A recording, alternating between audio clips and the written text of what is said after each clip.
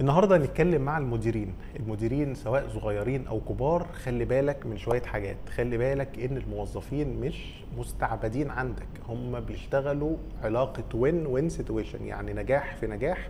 أنا بستفيد منك كموظف وأنت كمان بتديني خدماتك وبننجح سوا.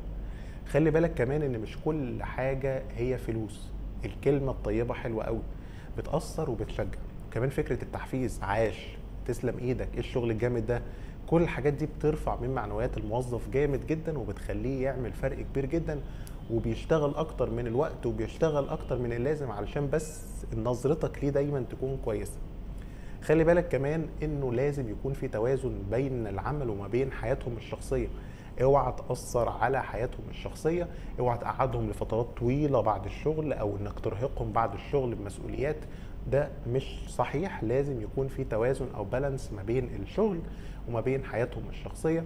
وتعزيز التوازن ده إن أنت في صالحك كمدير لأن الكواليتي أو جودة الشغل بتزداد مع فكرة ووجود هذا التوازن وسعادة الموظفين. مش شرط إنهم يحصلوا على أحسن وأعلى الفلوس ولكن أكتر حاجة بتأثر في الموظف هي التقدير الاحترام فكرة التحفيز فكرة إنك لو هو عمل حاجة كويسة تجيب له حاجة بسيطة تدعمه. إن شاء الله كيكة إن شاء الله بسكويتة إن شاء الله شوكولاتة إن شاء الله ميدالية ممكن تعملها فيها صورته وفيها تكريم. كل الأمور دي هتساعد على إن الموظف نفسه تفتح للشغل وكمان هتخليك أنت كمدير تحصل على أفضل أداء ممكن منه. المدير مش بس بالفلوس كمان بحاجات كتيرة قوي خلي بالك منها يا مدير.